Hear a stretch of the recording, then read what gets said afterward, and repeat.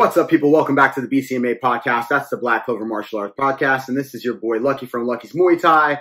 And there's not a lot going on. Everything's been kind of quiet since the election, which is kind of weird because it still seems strange because uh, he hasn't conceded, and you know there's no transfer of power until January, so everything seems to be sort of just hovering right along. Anyway, that being said, nothing going much on in the combat sports front. I mean, they're talking McGregor Poirier, that kind of thing, but Paul Felder stepping in on short notice versus RDA. But other than that, not too much. But before we get into me ranting about everything or nothing, uh, don't forget if you like the show, keep the like, hit that subscribe button, share with your friends, uh, hit a comment below so I can know what you're thinking about, what's going on in your brain, and um, how you're taking life right now. Um, so let's talk excuses. I've literally probably used every excuse in the book for everything in the book, as have a lot of people. Um, you know, I mean, my dog ate it, the everything. I lost my keys. I mean, excuses are abundant just within life, right? You hear these things daily. And a lot of times it's just warranted. It is what it is. There was an accident. There is traffic. There is not always an accident. Sometimes you just run in late, right? You decide to get up five minutes later because you were just tired, whatever the situation may be.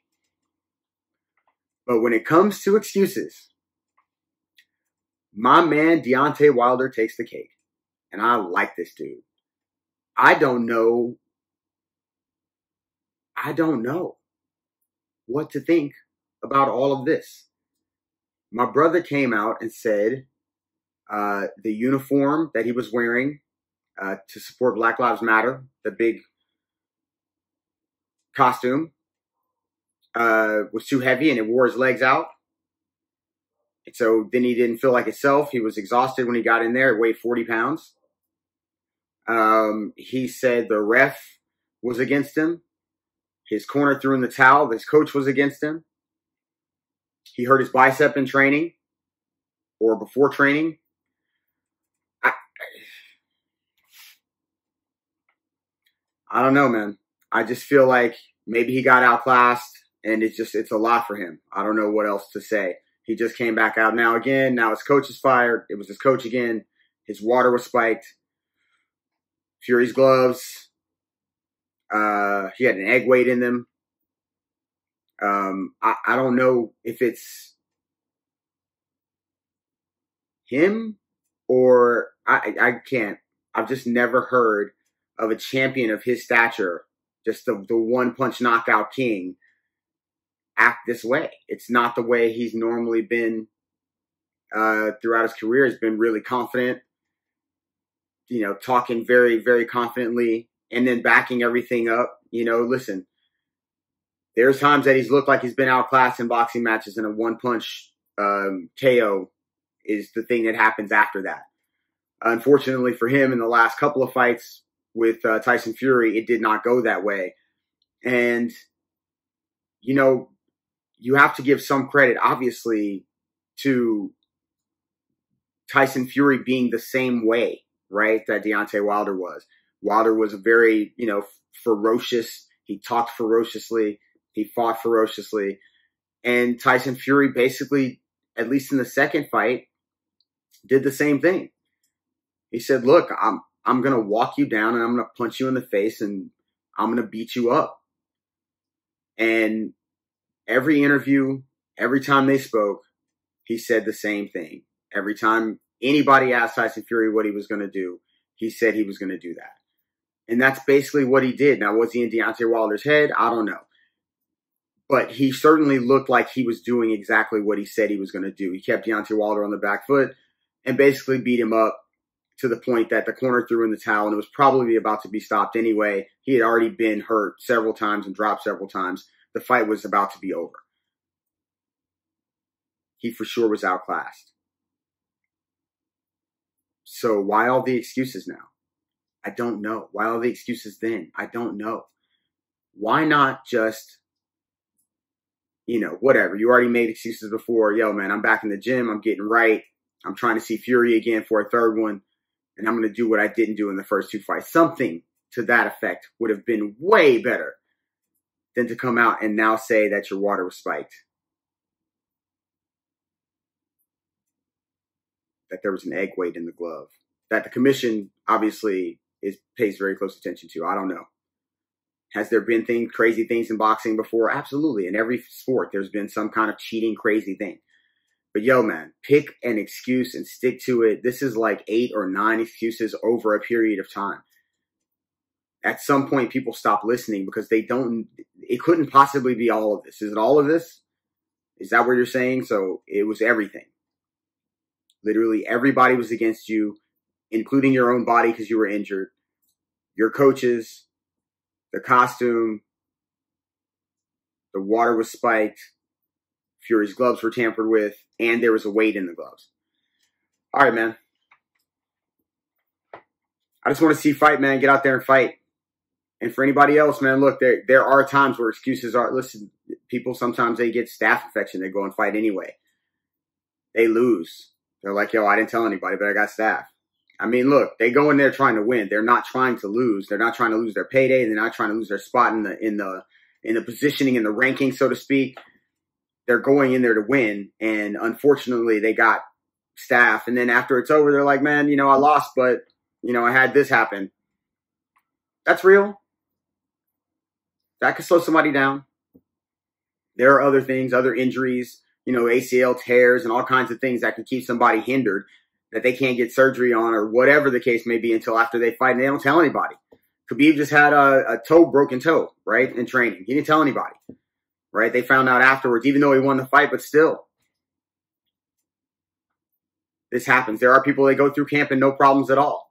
But there there are legitimate, legitimate things that happen that sometimes people can say, man, this this attributed, helped attribute to my loss. Of course, the other man was better that day but this also attributed to my training or my loss in some form or fashion. Um, but I own up to my loss. But all this, man, I don't know.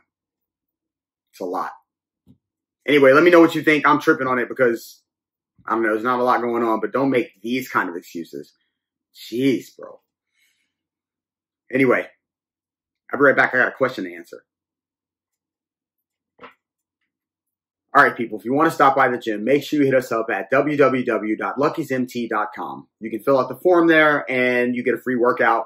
You can message us there and we can book you a class so you can swing by and see if we're the right fit for you. We want to make sure that um, you like what we do. Uh, we're a small boutique, you know, family style gym. Uh, we keep the classes very small. You have to book classes so we make sure we don't overbook and fill out the space. Um, listen, if you're interested in learning some good Muay Thai, uh, getting in shape, um, and some self defense, uh, make sure you hit us up www.luckysmt.com or you can drop me a line at Lucky's Muay Thai on Instagram just so you can uh, ask us some questions, things like that. All right. Looking forward to seeing you there. Peace. All right. So I got asked a question by Philippe underscore 10 underscore. Uh, Philippe was actually a student of mine you know, it's Tahiti Beach Restaurant on uh, Miami Beach. You should check it out if you're ever in the area. Um, he asked, why are Muay Thai fighters so successful in MMA? That's sort of a strange question because it's, I don't know that they are so successful. They, there are some that are very successful. But in order to be successful in MMA, you can probably neither be simply a striker, a wrestler, or a jujitsu practitioner. You have got to have at least a, a, more than a fair amount of something of the other things. The reason why high level strikers sometimes do well, and they can be boxers as well. I mean, it's not as if Nick and Nate Diaz are huge Muay Thai fighters, right? They they box. Um, and some some people do well, some people don't. But the reality is, uh, the ones that do well, usually because they understand timing and distance pretty significantly over most, at least when it comes to striking and footwork. At a high level like that, it's so uh, everything happens so fast, and it is always such a matter of of inches, right, or less. Um, so when people are, unless people are really good at at making great takedowns, and the God, this is really tough, man, because you know you can still be taken down. So that leads to the other part. Well, all right, let's stick with this. So the real the real issue is if I'm a really high level striker, do I have high level takedown defense? So how how at what level can I stop people from taking me down? So you look at a guy, you look at a guy like Conor and he fought Khabib. he looked good for a moment. And then it was what it was. But the reality is your takedown defense has to match the ability of wrestling of the other person or whatever they if they're a judo person or whatever the case may be. The takedowns of the other person. If it doesn't match it then you have to have from your back an active guard. And obviously from top you probably you're probably going to do okay. You're probably going to know where and how to strike just based on the principle that you that striking is what you do right? If you know how to put your position your body in a way that keeps you in a, an advantageous position, then the striking part's going to come easy from from those positions. Mount and you know some kind of leg ride where you're controlling the wrist on the other side. Those things from the top are fine, but if you get taken down, do you have an active guard? Are you are you? Um, dang, I just lost his name. Crazy. Um, can you elbow from the guard? Are you Tony Ferguson? There it is. Are you, can you elbow from the guard? Can you triangle? Can you work for armbar? Can you can you just do things to stop your opponent from working you to death on the ground and dropping hella ground and pound? So when it comes to high level Muay Thai fighters being really good, yeah, you have Brandon Vera, he was good. Anderson Silva obviously has fought some Muay Thai fights. Um, uh, Israel Adesanya's kickboxing, right? To me, you know, you go back to Maurice Smith, who was already good, but when he got into MMA, he had he couldn't figure out. It took him going to I think Lions Den to figure out how to stop takedowns, and once he did that, I mean, he was able to do that to Mark Coleman, right? He was able to stop him and then have an active guard on his back. He was like the uh, the blueprint to what you need to be if you're a high level striker in MMA. You have to strike at a high level. You have to have takedown defense and then if you do get taken down, you have to have the ability to be active on your back to at least negate the abilities of the person on top, if not try to submit them. And if you can't submit them and you can negate them, that's just as good. If you can get to somehow get back to your feet because there's nothing happening and you get to strike again where you have the huge, the, the biggest advantage, yeah, man, that's, that's Maurice Smith. That's what he did. And everybody else sort of, I think, followed that suit. Um, he was one of the first ones to defeat, you know, a high level striker to defeat somebody that's, you know, known for slamming people on their heads and beating them up.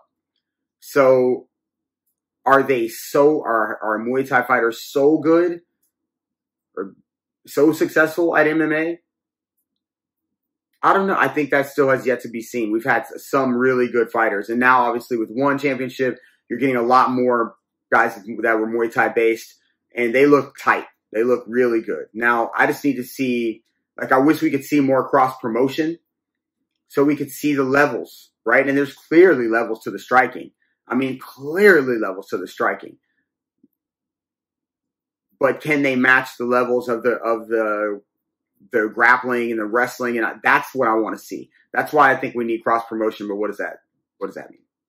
I mean, as far as I'm concerned, you know, some of these guys need to be fighting each other from across from around the world. We need to see something because, or they can stay separate, whatever. I mean, I just I, I would love to see some of these guys from one fight some of these guys from Bellator, fight some of these guys from you know whatever from everywhere, from the UFC, from everywhere. Um, anyway, that was a good question because are they so successful? Not necessarily, but high level Muay Thai, kickboxing, boxing strikers could be can be very very successful if they can manage to stop the takedowns and then be active in, in their guard if they are taken down. Like striking at a high level is super, super difficult. And that's why you don't see it very often. And that's when, that's why when you see it, you know it's special, right? That's why when you see it, that's why when you know it's coming, you line up for it, you buy a ticket because you know that you're going to see something special. That's why you, those big, those big, big fights that everybody's buying for the pay per views, all that stuff, you know you're going to see something special between hopefully both athletes, right? But yeah, I don't know about so successful, but successful, yes. We've had a bunch, more than a bunch, and I expect that we'll see more. I expect we'll see more. I mean, oh, did I leave somebody out? Joanna? Joanna Jędrzejczyk? Very successful. Very successful. High level Muay Thai. Very successful in MMA. But she was more successful right at that part of the run where she started learning how to wrestle pretty good and she was able to stop takedowns. That's when she became really a monster. Um, even though she was already pretty good at it, she got better at it. And then she was really a monster. And she had some brawls in there. Um, we had some tough, tough women. So, yeah, again, if they can keep to their feet, they're always going to be uh, pretty good. Doesn't mean you can't get knocked out in four ounce gloves. People slinging overhands and punches come from weird positions, and people don't people aren't standing in traditional fashions. Um, so anything can happen. But yeah, man, that's my take on why Muay Thai is why Muay Thai fighters can are so successful. It is are they so successful? And yes, they can be successful. All right, yo, that's my rant for this week. Um, I don't really have much, but next week we're gonna get back into it. This is episode number 24. If you like this show, make sure you hit that subscribe button, keep the like, elbow the, elbow the subscribe button, uh, tell your friends about it. Uh, drop me a line at Lucky's Muay Thai on Instagram. If you want to stop by the gym, you know what to do. www.luckysmt.com. I said that mad fast because I'm a beast on this mic. Um, I love y'all. I am out. I hope y'all have a beautiful, beautiful weekend. Peace. Thank you.